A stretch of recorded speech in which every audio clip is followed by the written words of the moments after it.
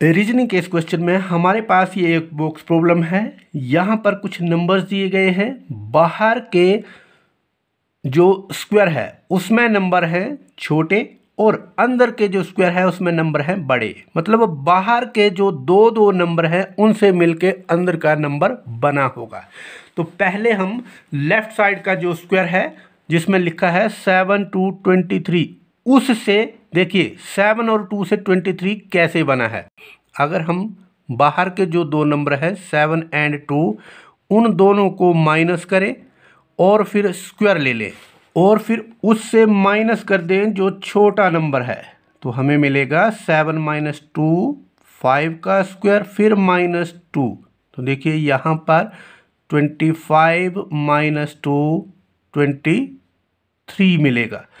अब इसी तरह से नीचे वाले स्क्वायर में देखिए, जहाँ पर नंबर है दो, फाइव एंड नाइन तो हम बड़ा नंबर लिखते हैं, पहले नाइन माइनस फाइव। उन दोनों का स्क्वायर करेंगे, फिर छोटा नंबर माइनस कर देंगे। तो यहाँ पर नाइन माइनस फाइव, फोर आएगा, फोर का स्क्वायर, फिर माइनस फाइव। तो फोर का स्क्वायर सिक्सटीन होगा, माइनस फाइव करेंगे तो इलेवन। देखिए, अंदर के स्क्वायर में इलेवन ही लिखा गया है। तीसरी पिक्चर में भी ऐसे ही है, जो बड़ा नंबर है, इलेवन। इलेवन से छोटा नंबर माइनस कर देंगे और स्क्वायर कर देंगे। फिर माइनस छोटा नंबर को उसी तरह से स्क्वायर कर, माइनस कर देना है। तो इलेवन माइनस फोर, सेवन मिलेगा, माइनस फोर। सेवन का स्क्वायर माइनस फोर सेवन का स्क्वायर होगा forty nine minus four, forty five. हमें आंसर मिल चुका है। कैसे?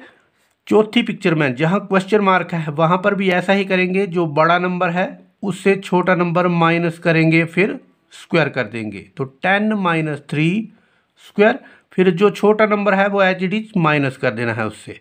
तो हमें मिलेगा सेवन का square minus three seven square होगा forty nine minus three forty six. और ऑप्शन नंबर सेकंड में फोर्टी सिक्स ही दिया है, यही सही जवाब होगा।